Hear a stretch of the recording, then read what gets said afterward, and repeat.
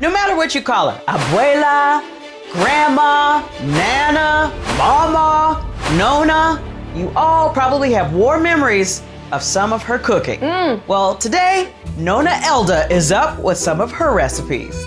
And Nonna Elda, she has some advice she's giving away on TikTok because, you know, they like her cooking. You never cut the spaghetti with the scissors. Oh, That's great. I'm stealing that one. yeah. Or you do try and peel it apart and it just goes all over the place.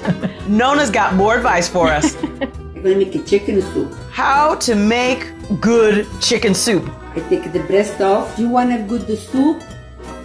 You're gonna put the chicken one of the water is cold. And then once it comes to a boil, she says you gotta skim that gunky stuff off. Mm-hmm. And then she adds her vegetables. Celery, onion. Now we're gonna start the boil. You gotta put a low.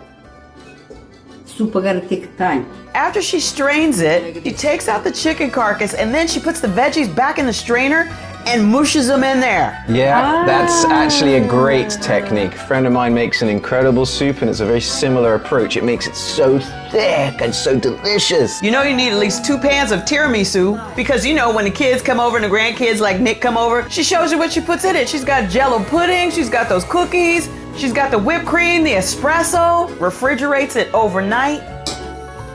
My grandmother, she was a cook for an Italian family and she didn't write down any of the recipes, like polpettone. She gets some ground beef, she spreads it out.